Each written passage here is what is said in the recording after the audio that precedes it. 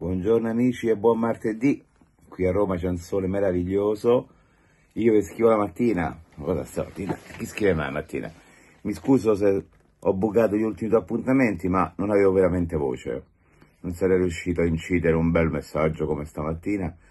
Mamma mia, stamattina, che faticata ieri sera. Oh. A momenti ci pareggiano le nove.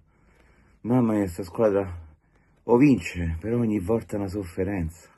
Vabbè, mo pare che mi sta lamentando mo terzi, mancano 18 punti alla, alla salvezza perché noi quello puntiamo chiaramente.